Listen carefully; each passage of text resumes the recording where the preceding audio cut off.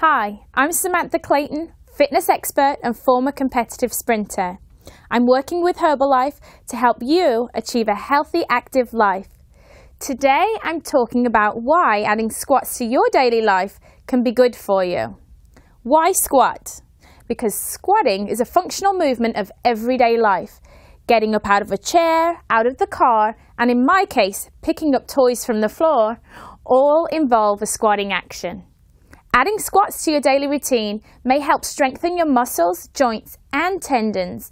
And this added strength can help make the simple tasks of your daily living easier. Now, before doing any exercises, we always start with a stretch. So stand with your feet shoulder width apart. Now, before doing this stretch, you can use a chair for balance if you need to. You're going to bring your leg back as if you're going to kick your butt with your heel. You're going to take a hold of your ankle with your hand and gently pull your heel towards your glute. You should feel this stretch down the front of your leg. Now, if you're not able to grab a hold of your foot, you can use a towel or you can simply just lift your leg halfway and hold for the stretch. Do this on one side and then on the other. Now, if you're the person that thinks squats are boring, believe me when I say that a squat is not just a squat if you use your imagination. There are several variations for all levels of fitness, and here are a few of my favorites that you can do just about anywhere.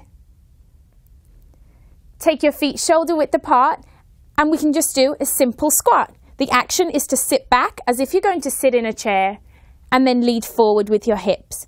Knees should never go over the toes. So sit back and then stand up.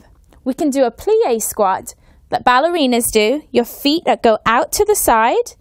You're going to sit down and again come up to standing. Keep a nice strong core when you do this move. Sitting down and standing back up. You can do a squat with a knee lift where you're going to squat down and challenge your balance on the way up by lifting one knee off the floor at a 90 degree angle. Sit back down and lift the other knee off the floor. Now, when you want to add some plyometric moves to your workout and build up extra strength, you can do squat jumps, sit down, jump up, sit down, and jump up. Like I said, with imagination, a squat is not just a squat.